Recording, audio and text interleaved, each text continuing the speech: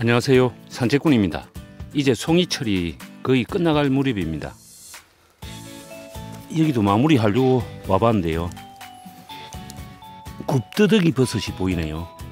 송이가 다 끝이 나고 나면은 나오는 버섯입니다.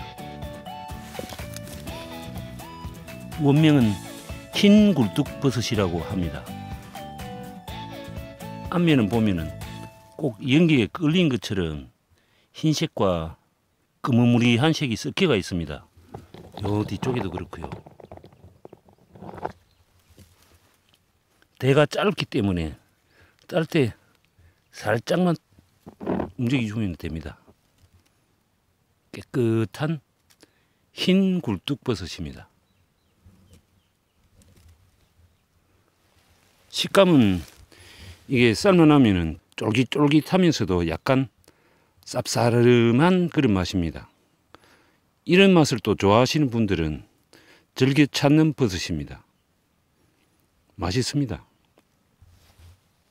아이고 이거 나무 밑에 들어가 있어 가지고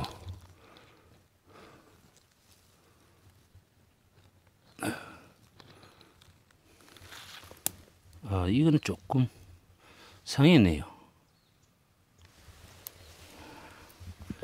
크기는 큰데 백숙 해 먹으면 되겠네요.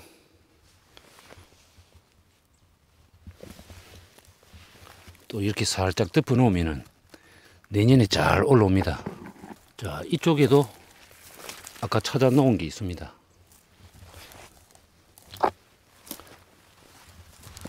여기에 쫄쫄이 세 개가 있네요. 하나, 두 개, 세 개입니다.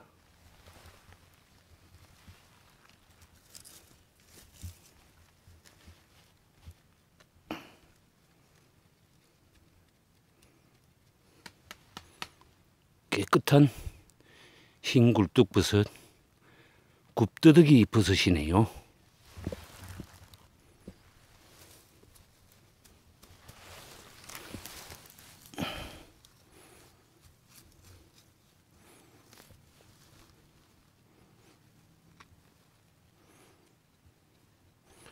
쉽게 따집니다 이게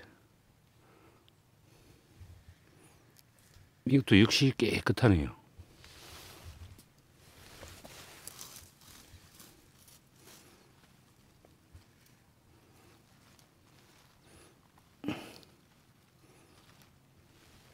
이 버섯도 조직이 단단하고 맛이 있기 때문에 사람들이 선호하는 버섯입니다. 식감이 거의 뭐 능인 버섯하고 거의 비슷 비슷합니다.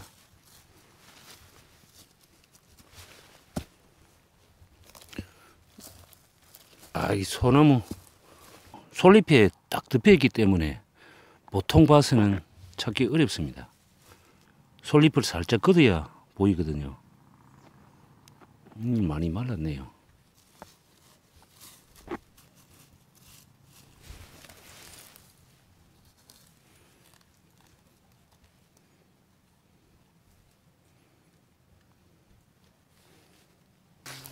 이 노간주 나무 밑에도 잘 들어가 있습니다. 이거는 아직 어리네요.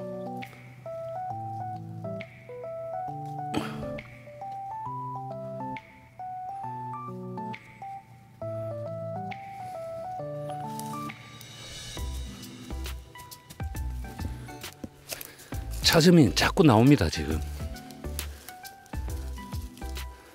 아 이거는 상태가 좋네요.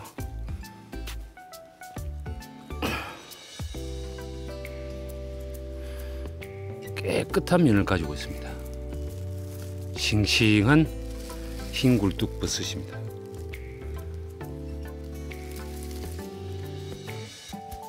이쪽에는 아직 싱싱한 오이꽃 버섯이 보이네요. 야, 다른 지역에는 다 말랐고 여기도 끝물 같아 보입니다. 아직까지 싱싱하네요. 잎이 조그만 했는데 이제 굉장히 커졌습니다. 자세히 보면은 잎에 갈색 털이 보입니다. 그래서 원명은 갈색 털 뿔나팔 버섯입니다. 하나만 따볼게요. 에이, 너무 작다 이거. 아 여기 있네요. 버섯이 너무 작아가지고 잘 안 따지만은 상당히 맛이 있는 버섯입니다. 이제 녹균화가 진행이 되고 있는 과정입니다. 이렇게 하얗게 변해버리면은 식감이 떨어지기 때문에 못 먹고요.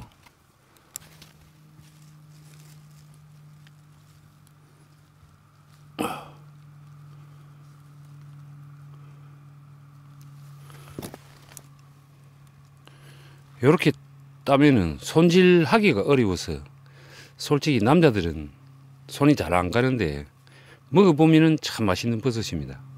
요즘 건강식 다이어트로 뭐 인기가 꽤 높은 버섯입니다. 오이꽃 버섯, 갈색 털, 뿔나팔 버섯입니다. 이제 없는가 싶어서 이제 챙기려고 발걸음 옮기면은 또 하나 보이네요. 여기에 하나가 있고 요 옆에도 어린 게 하나 보입니다. 이 버섯은 모르겠네요.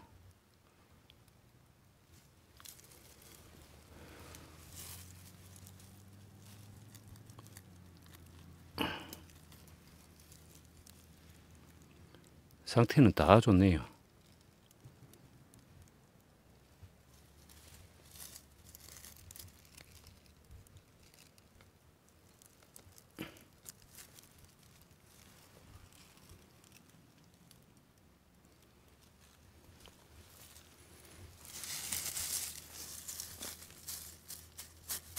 야, 이거는 솔직히 보고 있어도 버섯이 있는지 없는지 모르겠습니다. 여기라고 생각하신 분들 틀렸습니다. 여기입니다, 여기.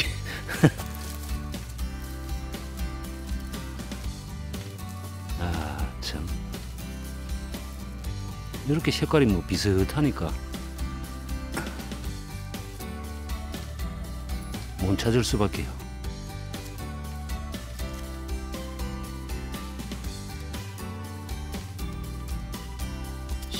시큼은 굴뚝버섯 이름도 누가 지는지 참 잘 지었네요. 여기도 뭔가 있을 법한데요. 아 진짜가 여기 있었네. 진짜 흰 굴뚝버섯이네.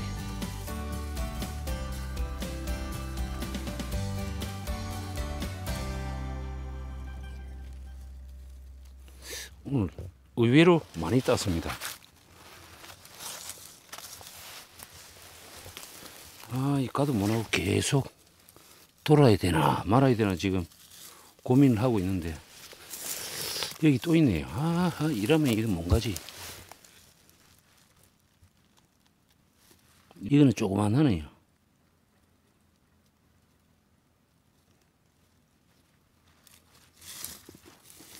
이 근처에서만 네 개를 땄네요. 이산 산행을 이제 마치고 내려가는 길인데요.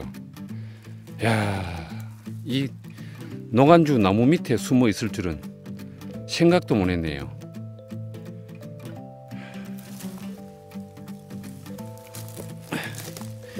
요 밑에 핀송이가 하나 딱 들어가 있네요. 여기는 여태까지 안 나던 자리인데 조금 건너뛰었습니다. 한 10m 정도 건너뛰었네요. 야, 멧돼지가 쑤시가지고 아무것도 없을 줄 알았더니 그래도 올해 마지막 이 산에서는 마지막 같습니다.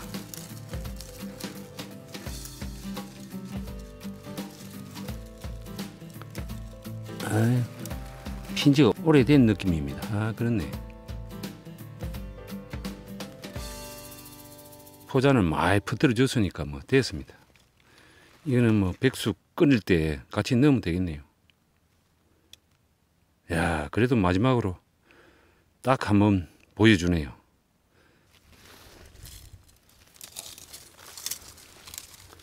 포자 많이 날렸네요. 요 건너갔고 다 건너왔습니다. 오늘 그래도 많이 땄네요. 한 11개 정도 딴 것 같습니다. 상태들이 다 뭐 좋아가지고 백숙을 해 먹든지 살짝 익혀서 초장에 찍어 먹든지 하면 됩니다. 오늘도 성공이네요.